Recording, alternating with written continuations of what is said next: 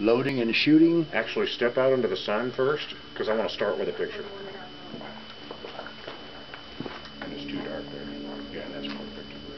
Yeah, the first is just going to be a picture.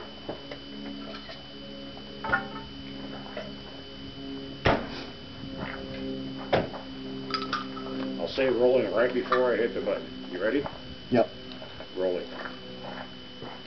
So here we are at the range, loading and shooting the new Thompson Center Hawken 54.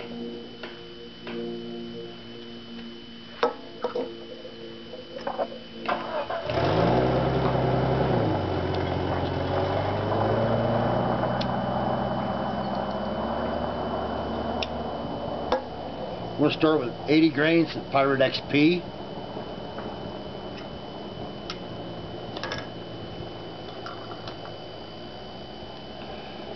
Felt wads I'm using today are a little thin and a little flimsy, so I'm going to use two of them.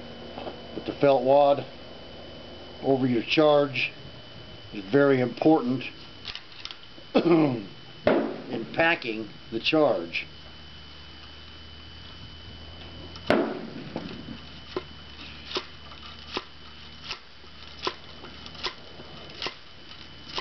Make sure your ramrod bounces well out of the barrel there like. That ensures that your powder charge is well packed.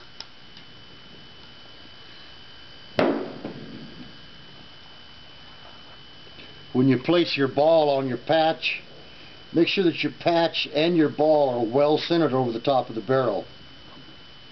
Use your short starter, the nub starter first.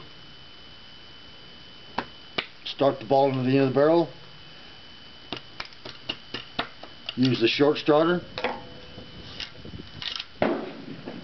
Very important. When you ram, don't ram from up here. You can break the ramrod off and run it through your hand. Be sure and use short strokes on it. Once you start ramming, ram it right on down until you feel it get hit the bottom.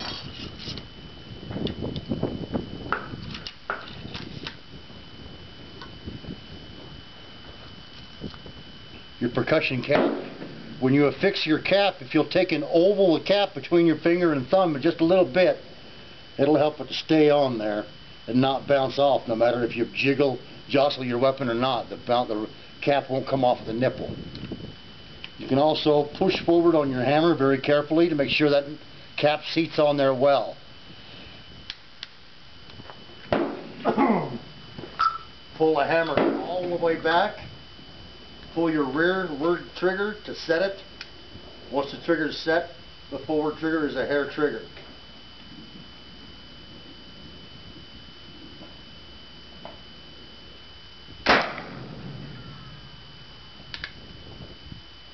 She seems to be a good shooter.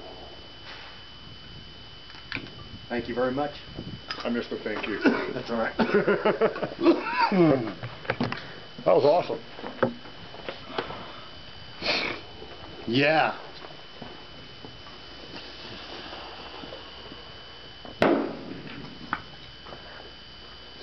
Grab you six wads out of there. Out of the heart-shaped one.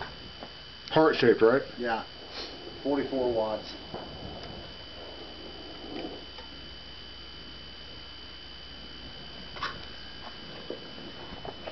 Okay, your powder flask.